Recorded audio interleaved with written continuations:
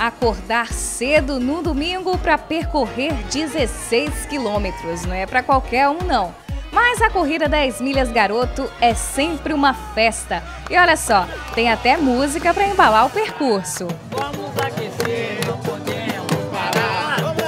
Tá na hora de largar.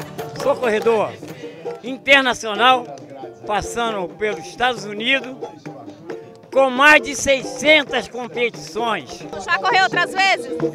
Muitas vezes, há uns 28 anos correndo. E ó, quem veio direto da França para correr também foi a Mona Lisa.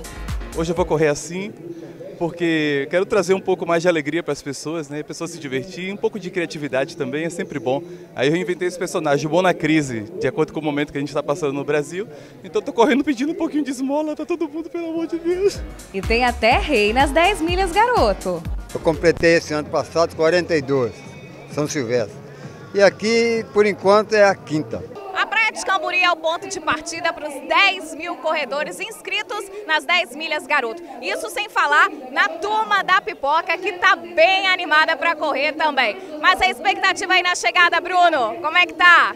Olha, Bruna, os atletas devem demorar aproximadamente 40 minutos para chegar aqui em frente à fábrica de chocolates da Garoto. E enquanto os profissionais não entram em cena, quem faz a festa aqui é a garotada. Olha que bacana, todo mundo aprendendo desde cedo a importância da atividade física. Daí pode surgir novos talentos, quem sabe? É primeiro ano que eu corro. E o que você achou da prova? Achei boa, é, foi muito legal. Eu sempre corro é, nessas corridas.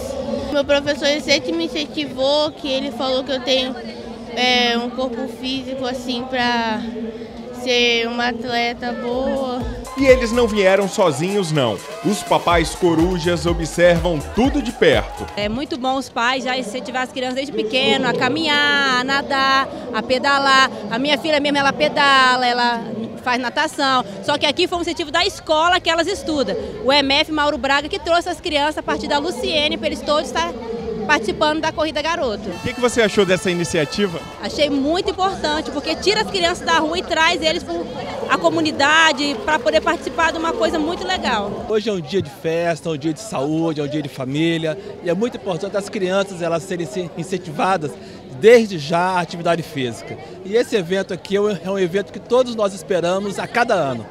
Bruna, são quase 8 horas da manhã Tá quase começando a prova principal por aí em Cambori, não é mesmo? Pontualmente às 8 da manhã é dada a largada e os atletas começam o percurso. Um grupo de oito atletas segue na frente. A praia vai ficando para trás até que o keniano Edwin desponta e toma a liderança da prova.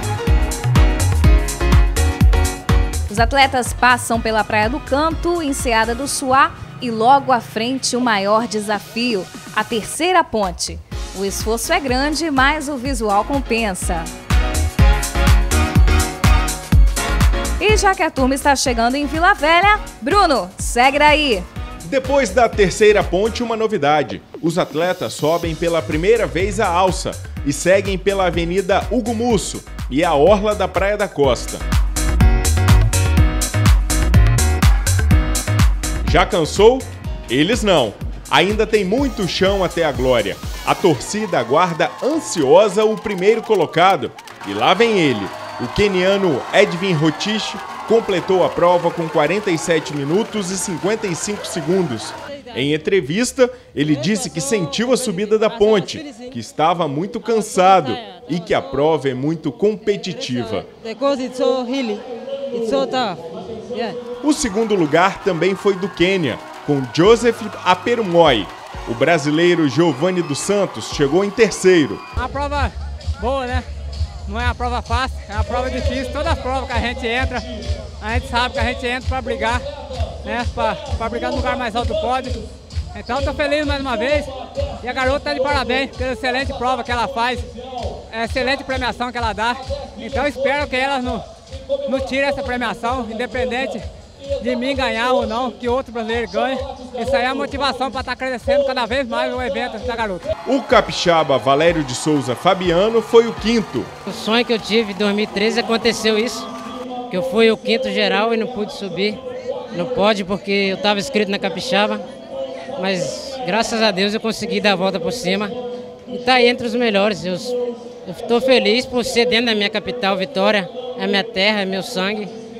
Então eu fico feliz em representar bem minha capital e meu interior. Entre as mulheres, a keniana Delvine Meringó ficou em primeiro lugar. A segunda colocada também foi do Quênia, Nansep Kiprop.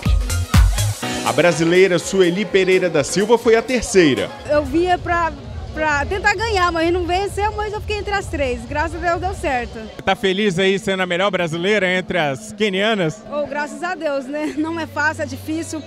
E as kenianas puxou muito e eu fui junto, né? Junto com ela até eu quebrar. Quando eu quebrar, tá chegando, né? Aí a gente se, se força mais. Graças a Deus deu certo aí. Sem dúvida, o domingo foi de vitória para quem disputou as 10 milhas, independente da colocação.